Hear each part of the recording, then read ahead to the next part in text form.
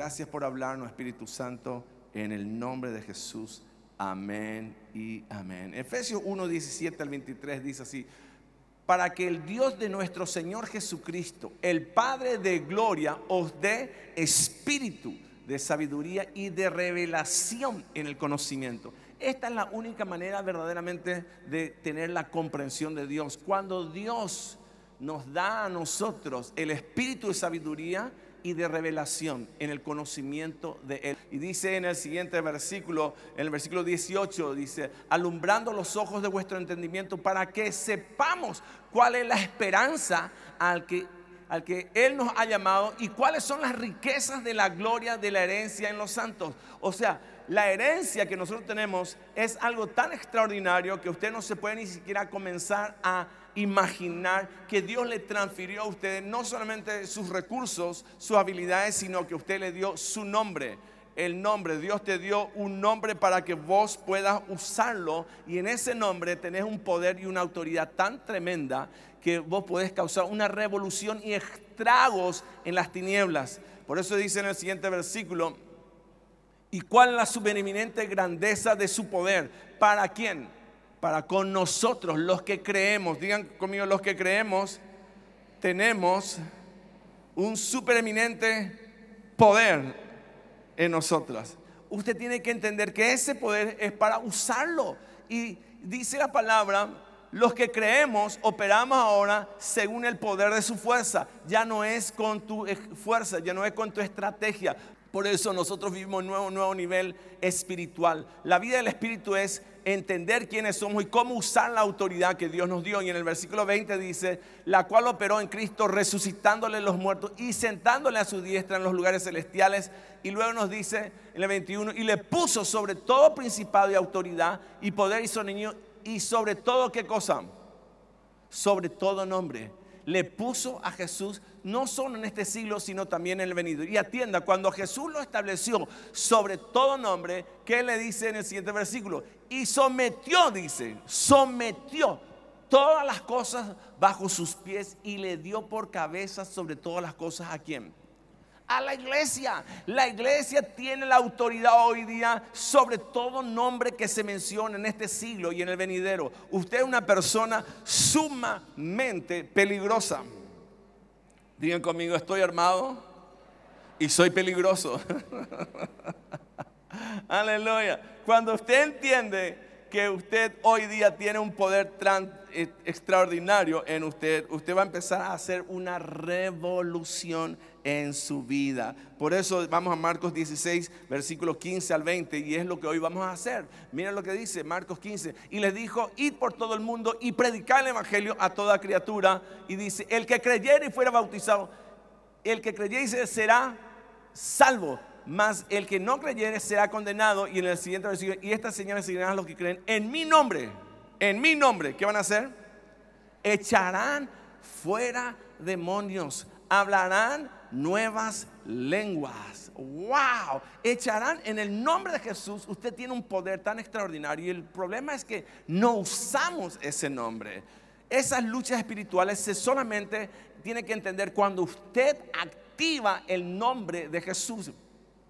Por eso que Dios le transfirió a usted ese nombre tan poderoso. Y dice en el versículo siguiente, miren lo que dice, Tomarán en las manos serpientes y, beberán, y si vivieran cosas mortíferas, no le harán daño. Sobre los enfermos pondrán sus manos. ¿Y qué va a ocurrir? Se sanarán. Y dice, y el Señor después que los habló, fue recibido arriba en el cielo y se sentó a la diestra de Dios. Y en el 20 dice, y ellos, ellos como nosotros, saliendo, predicaron ¿dónde? En todas partes, ayudándoles el Señor y confirmando la palabra con qué? Con las señales que les seguían. Digan conmigo, las señales me siguen. Decirle que está al lado, las señales te siguen. Cuando vos entendés el poder que tenés en el nombre de Jesús, porque en mi nombre, ese nombre no lo puede usar cualquiera. Dice que cuando fueron liberados, unos hombres judíos quisieron hacer una liberación y el demonio, el espíritu que estaba en este, en este personaje dice, a Pablo le conozco, a Pablo le conozco, a Jesús le conozco, pero vos, ¿quién sos?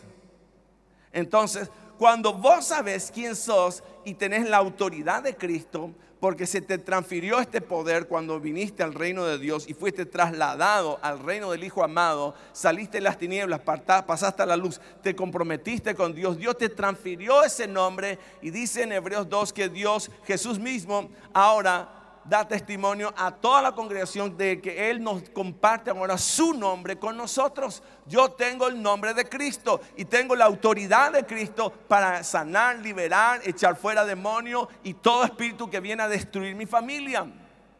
Por eso usted no puede dejar de orar. Tenemos que seguir orando predicando y el que cree señales le van a seguir y Cristo mismo va a confirmar su palabra en cada acción que vos haces. Entonces, Lucas 24, 49 dice así, Lucas 24, 49, he aquí yo enviaré la promesa de mi Padre sobre vosotros, pero quedaos vosotros en la ciudad de Jerusalén hasta que seáis investido de qué?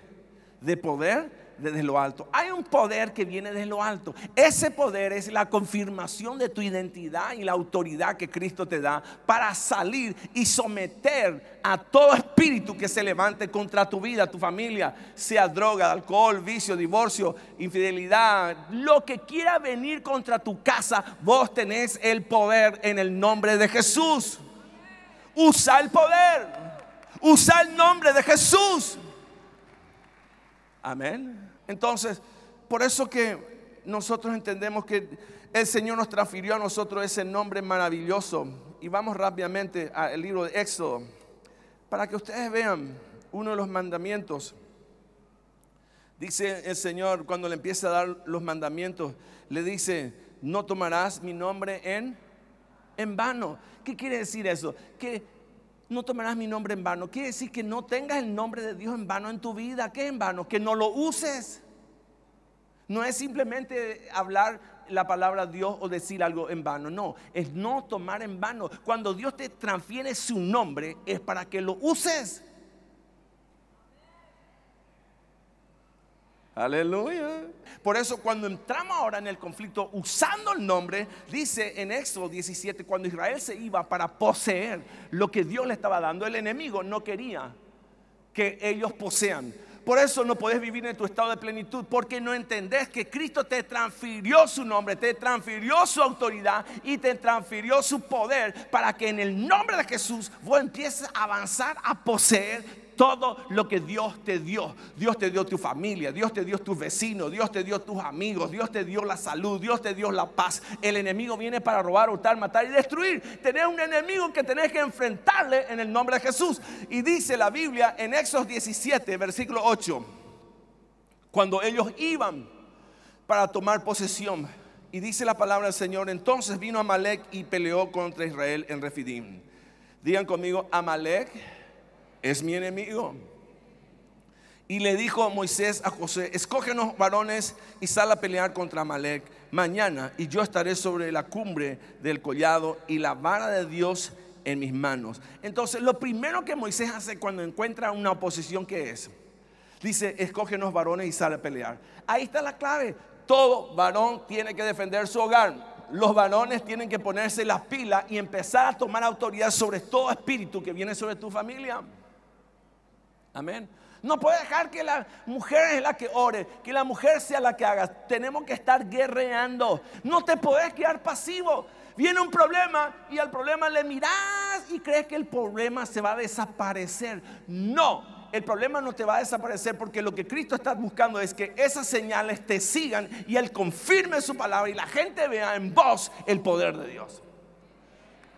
Dios tiene que revelar su poder en la tierra a través de tu vida.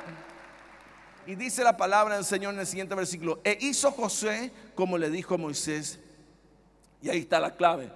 Entender que cuando yo activo en obediencia la voluntad de Dios, e hizo Josué como le dijo Moisés. Señores, si Josué tomó la posta no fue un producto de la casualidad, fue porque Josué era un guerrero, fue porque Josué entendió que Moisés le transfería autoridad, es porque Josué anhelaba ver la voluntad de Dios y que el reino de Dios se establezca en la tierra. Y dice que Josué hizo como le dijo Moisés y se fue a pelear contra Amal- Amalek y Moisés y Aarón y Ur subieron a la cumbre del collado. Entonces hay dos equipos aquí, los que salen la infantería y los que oran y están allá también arriba peleando todo el tiempo. Por eso que la iglesia no puede dejar de orar. La iglesia no puede dejar de orar. Tenemos que seguir orando en el nombre de Jesús. Esos espíritus vienen para enfermarte, para deprimirte. Las cosas no es que simplemente ocurren por un producto de la casualidad. Hay una conquista espiritual que se tiene que dar. No de balde Dios te transfirió el poder para echar fuera demonios, para sanar enfermas, para imponer las manos y para que la gente reciba el bautismo del Espíritu Santo. La habilidad de Dios para ejecutar su propósito en la tierra y ser testigo aquí hasta lo último de la tierra. No en vano Dios te dio todo eso. Amén. Entonces, dice la palabra, miren en el siguiente versículo, en el 11. Y sucedía, dice, y sucedía que en cuanto alzaba Moisés su mano, Israel, ¿qué pasaba? Prevalecía. ¿Qué quiere decir eso? Que cuando empezás a orar, la iglesia prevalece. La oración baja. Miren lo que dice. Mas cuando él bajaba su mano, prevalecía quién? Amalek. Ahora, imagínense, Dios está contemplando, para él es muy fácil venir y poner una bomba a Amalek y destruirle totalmente a Amalek.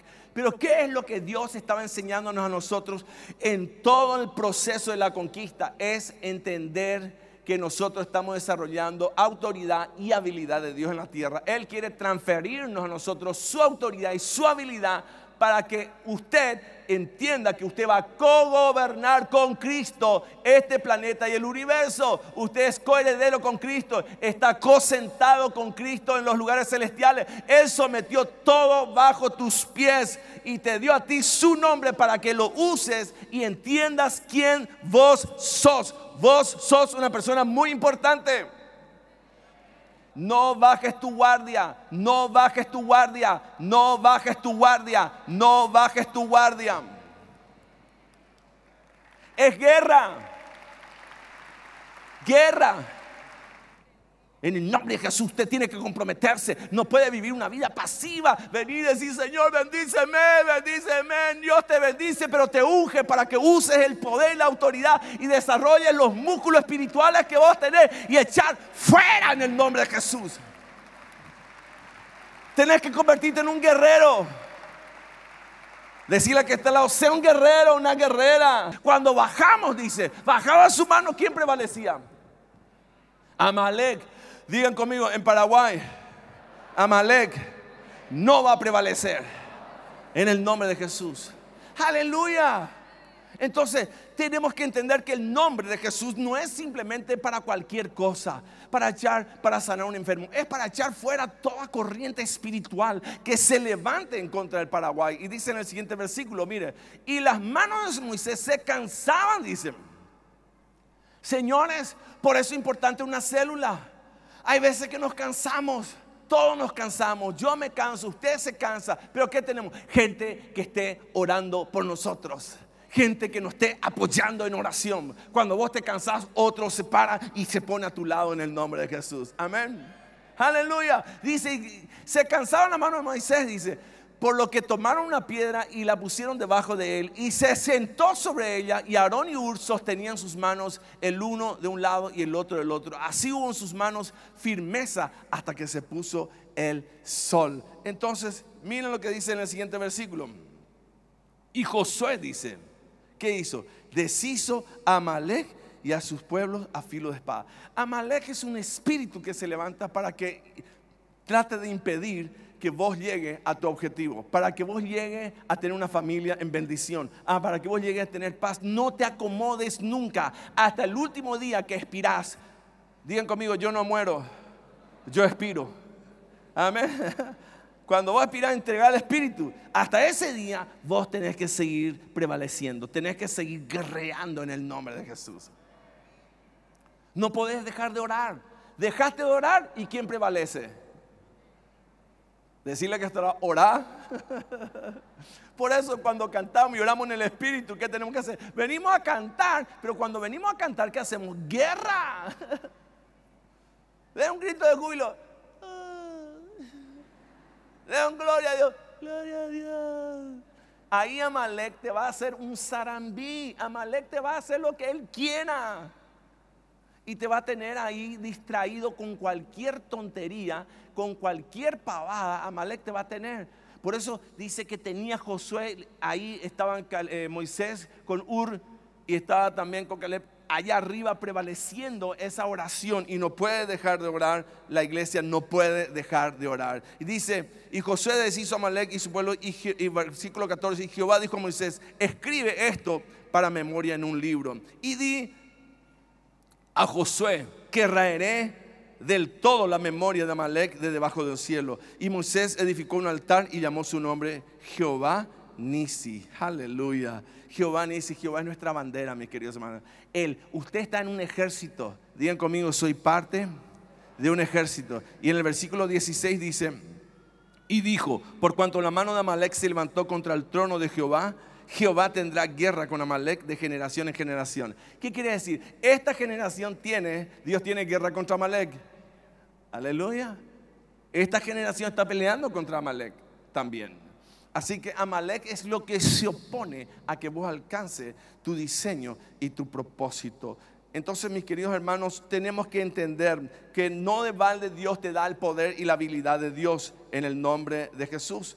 Ahora, quiero entender que dice en Apocalipsis 22, 4 miren, vos perteneces al... Y verán su rostro y su nombre estará en sus frentes. Cuando vos entiendas que el nombre, Dios te puso su nombre a vos, quiere decir que vos sos pertenencia de Dios.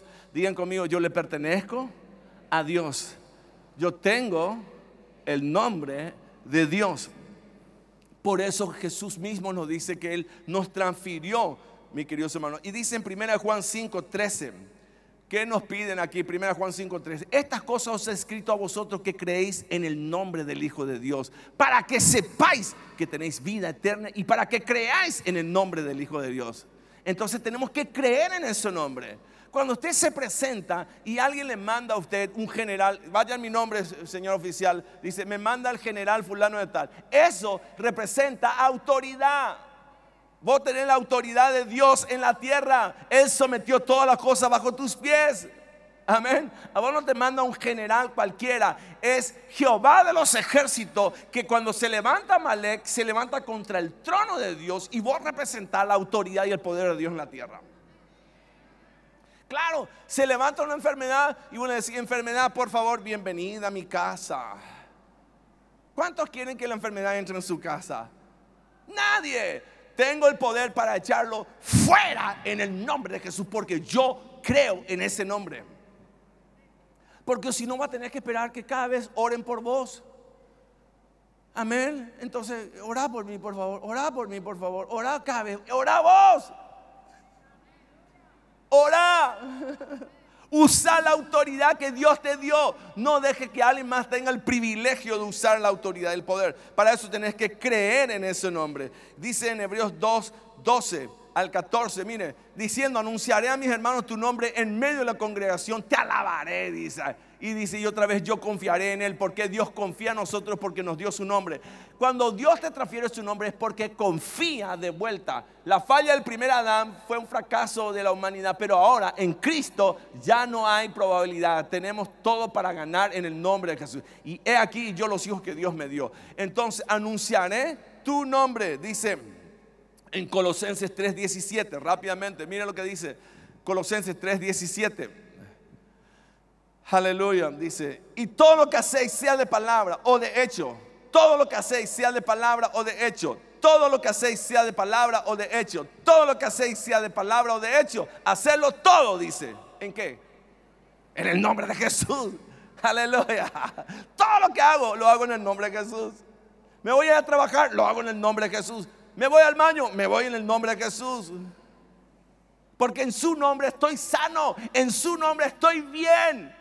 Cuando como lo hago en el nombre de Jesús. Todo lo que hacéis, sea de palabra o de hecho, hacerlo en el nombre de Jesús. ¿Por qué? Dando gracias a Dios por medio de Él. Gracias Señor porque me transferiste, me sellaste tu nombre aquí y el enemigo no me va a venir a engañar. Yo sé quién soy y a quién pertenezco, quién me compró con su sangre preciosa, quién me lavó y me redimió y me dio la investidura para echar fuera de generación en generación a Amalek y no va a prevalecer Amalek en Paraguay y se va fuera en el nombre de Jesús. Aleluya. Todo lo que hacéis, dice. Ahora, Filipenses 2, 9 al 11, miren lo que dice ahí. Por lo cual Dios también lo exaltó hasta lo sumo y le dio qué cosa? Un nombre que está sobre todo nombre. Ese nombre Dios te transfirió. ¿Y para qué te dio ese nombre Dios a vos? ¿Por qué posicionó ese nombre tan alto? Arriba de todos los sistemas de enfermedad, dolencia, miseria, pobreza, oposición, amalek, bomballira, todo espíritu inmundo, lo que sea. Allá arriba está un nombre. Dice, para que en el nombre de Jesús se doble toda rodilla de lo que está en el cielo y en la tierra y debajo de la tierra. ¿Para qué? Para que en el nombre de Jesús se sujete toda rodilla, se arrodille. La miseria se arrodilla en el nombre de Jesús. Tenés poder, pero tenés que usarlo. Y generamos la sinergia cuando nos unimos. Señores, uno puede estirar 5 mil kilos, dos 15 mil, tres 40 mil kilos. Así que cuando unimos tres, la gloria y el poder va aumentando y se genera una sinergia. Cuando oramos, esto se intensifica de una manera tremenda.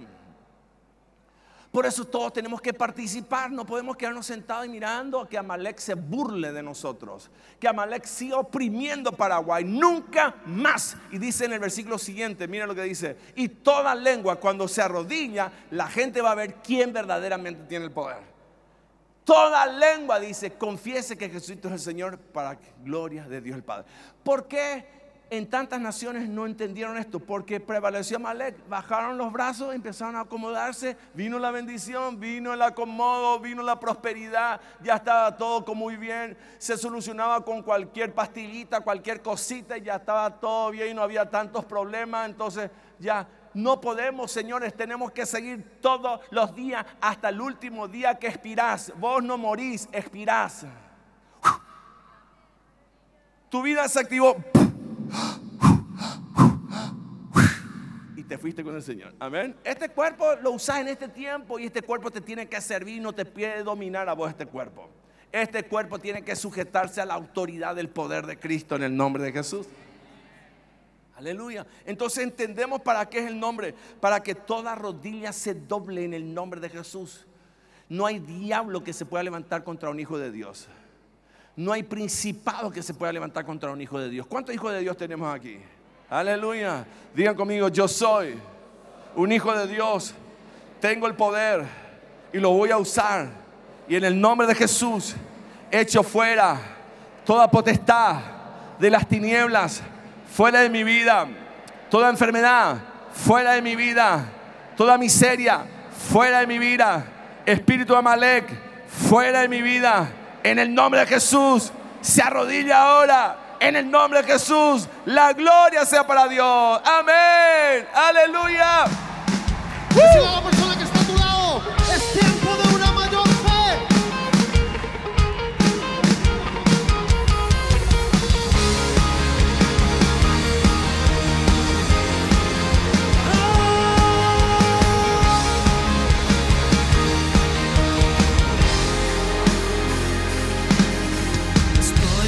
Totalmente seguro y voy plenamente confiado que recibiré